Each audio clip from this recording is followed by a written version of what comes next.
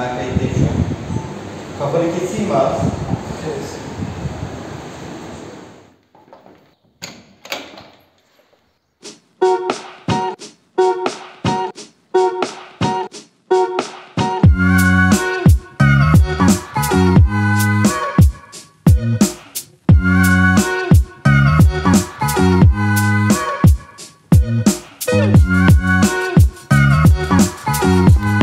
Bugünkü görevimiz ırmak kıyısına gitmek.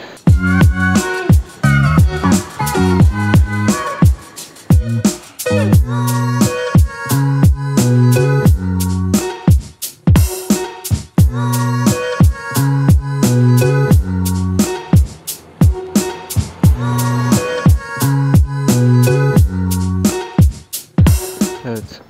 Şu anda 6 Nisan 2023 günündeyiz. İkinci gündeyiz videomuzda. Seriyi devam ettirirsek dediğim gibi 22 gün boyunca bunu tekrarlamayı düşünüyorum. İnşallah başarılı olurum. Şu anda Ali Paşa Hamamı'nın oradan arkaya arka sokağa saptık. Tokat'ın şu anda saat 6.30-7'ye doğru geliyor. Bugün biraz daha kapalı bir hava var. Yağmurlu hafif çiseliyor. Bu bizim durumumuzu biraz etkileyebilir.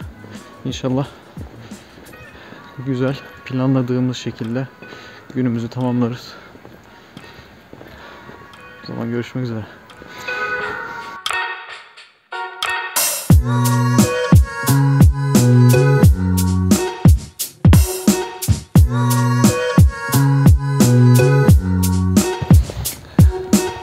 sizi sevdiğim bir sokaktan geçirmek istedim. Şu anda burayı ben eski çarşı olarak tanımlıyorum.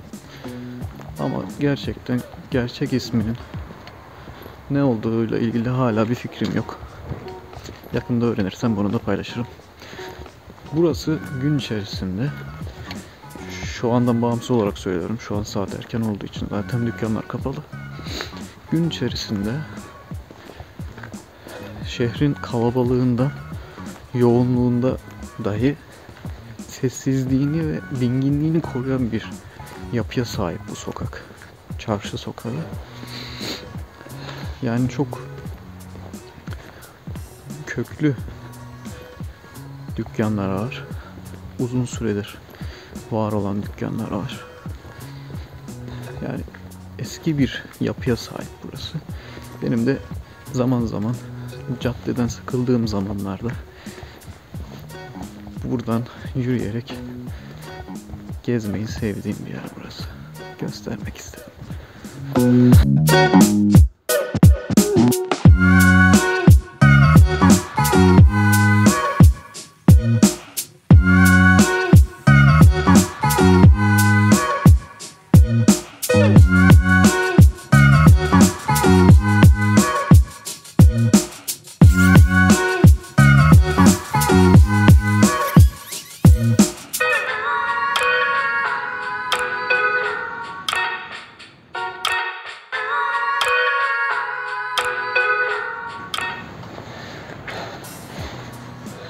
Anda Tokat'ın Taş Köprüsü'ndeyiz. Burası Tokat'ın deniz olarak bilinen Yeşilırmak. Şimdi biraz daha ileriye gidelim ve asıl konumuzu orada konuşalım.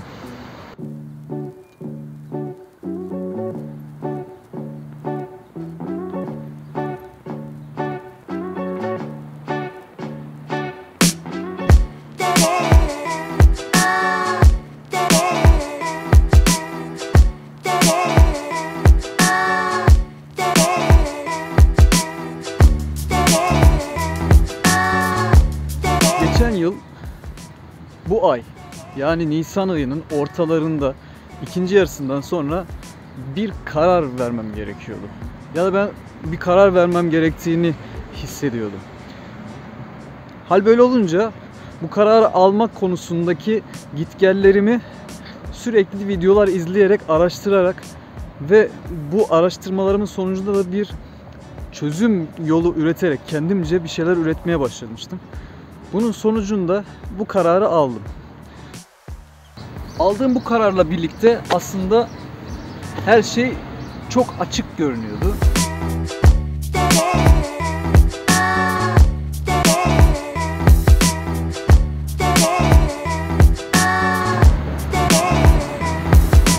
Aldığım bu açık kararın adı istifa etmekti. Bugün 31 Mayıs 2022 Salı günü şimdiden bugün itibariyle ayrılmış bulunuyor. Farklı bir duyguydu. Neden farklı bir duygu olduğunu söyleyeyim. Aslında ilk defa istifa etmemiştim. Bu istifanın bendeki anlamı artık yeni bir düzene ve yeni bir yolculuğa girmemle ilgili bir süreçle ilgili olacağı için böyle bir karar almıştım. Bu aldığım kararın üzerinden şu anda neredeyse bir yıl geçecek. Ne yaptınız da ne yaptın diye sorsanız sorsanız bana şu ana kadar açıkçası hani somut elle tutulabilir ne yaptınız deseniz video çekmekten ve bunları biriktirmekten öteye gidemedim. Daha önceki istifalarımdan bunun farkı aslında sevdiğim bir işi yapıyor olmamdı. Yalnız bunu İstanbul'da yapıyordum. Ben Tokat'ta yaşayan biriydim. İstanbul'a gitmiştim. Orada çok güzel bir çevre ve çok iyi arkadaşlar edinmiştim. Bununla birlikte çok iyi bir patronum vardı. Kendisi hem bir bilim insanıydı, aynı zamanda da çok iyi bir patrondu. Oradan, buradan hepsine de çok selam söylüyorum. Onun haricinde bu aldığım kararla birlikte artık benim yeni düzen kurmam gerekiyordu ve tekrardan memlekete yani Tokat'a dönmem gerektiğini düşündüm ve bununla ilgili bir plan ortaya koymam gerekiyordu. Bu planımı uygulamaya koyabilmem için de gerçekten somut verilere ve işletme tabiriyle bir fizibiliteye ihtiyacım vardı. Yağmur yağıyor. Şu anda riskli bir çekim yapıyorum aslında bu yapmasam da bunu olur. Ama birazcık şu yağmurun tadını vararak size de bunu göstermek istedim. Çok güzel bir yağmur yağıyor. Nisan yağmuru. Tam Nisan yağmuru yani gerçekten. Biraz da koşarak mı çekim yapsak acaba? Yağmur yağıyor şu anda. Yağmura yakalandık. Evet. Çok güzel bir Nisan yağmur yağıyor. Hemen şuraya.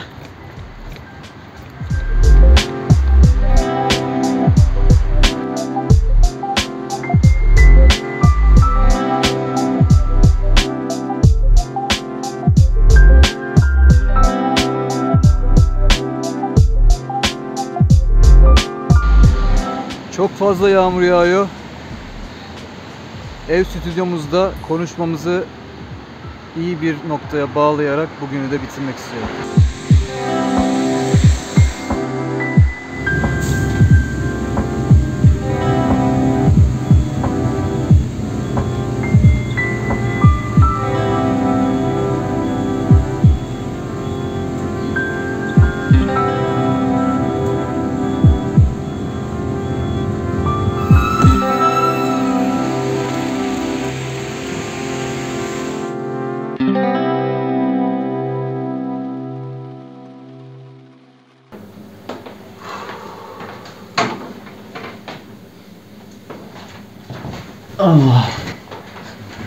Bugün çıktık.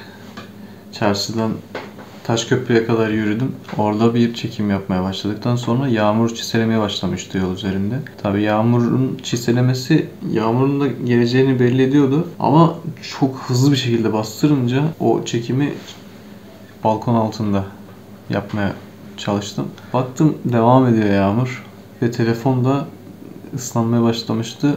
Hatta bir ara telefon kapandı ve kendini formatlamaya başlayacakmış gibi bir şeye girişti. Telefonun ses tuşu bozuldu filan derken tekrar eve geldim. Biraz telefonu dinlendirdim, şarj ettim. Şimdi çekimi tekrar devam ediyorum ve bu şekilde sonlandıracağım konuşmayı da yaparak bugün bitirmek istiyorum.